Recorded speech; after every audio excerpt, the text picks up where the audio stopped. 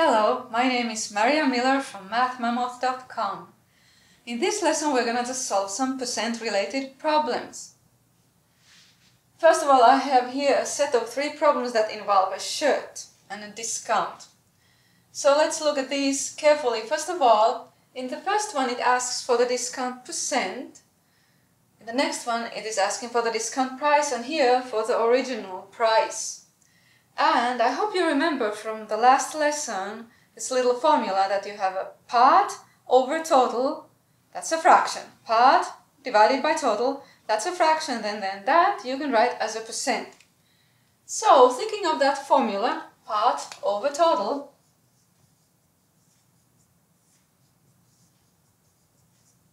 here I have that exact situation.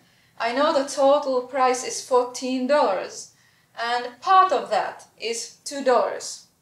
And what is the discount percent? The $2 is part of the $14 and 2 over 14 is the fraction that I need to change into a percent.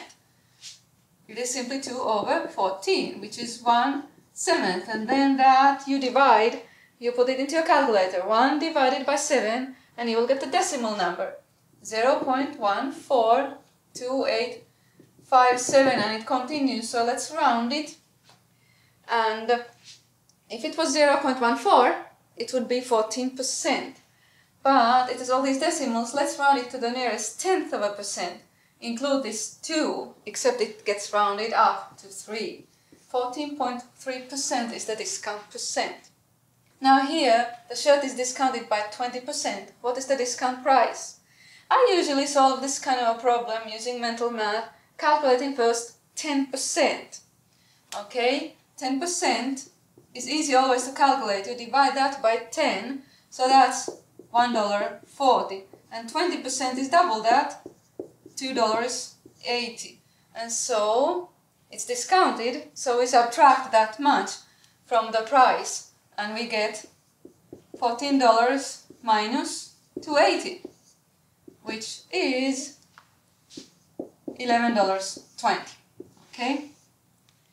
But I'll show you another way as well. And that is that if it is discounted by 20%, then 80% of the price is left. 80% of $14. So 80, 80% of $14. You see the word of there again? This translates into multiplication 0.8 times 14. So that's the other way to solve this problem. And of course, you would get the same answer, $11.20. The shirt was discounted by $3, and that was a 15% discount. So how much is the original price? And there's one way to solve this. $3 corresponds to 15%. I could then find 1% and then 100%. But in this case, it is easier to first find, okay, if $3 is 15%, then how much would be 5%?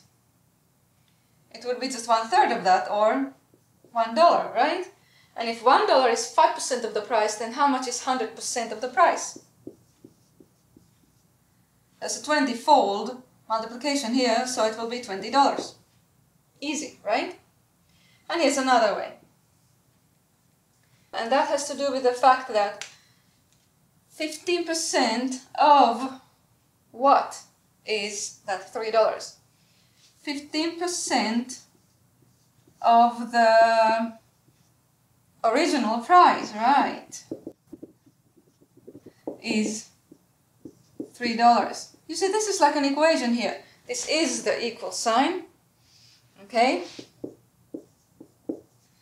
And then 15% is of course a decimal number. Of is the times. The original price is my unknown, my x. Okay. So 0.15 times, I shouldn't use this kind of, just put like that. 0.15 times x equals $3. And then this simple equation is solved by dividing both sides by 0.15. So x equals $3 divided by 0.15. And that would be the same answer, of course, $20. Here, original price is $121 and it is increased. What's the new price? Okay. Basically, we need to calculate 5.2% of this original price and then add that to $121. So basically, this is what we need to calculate.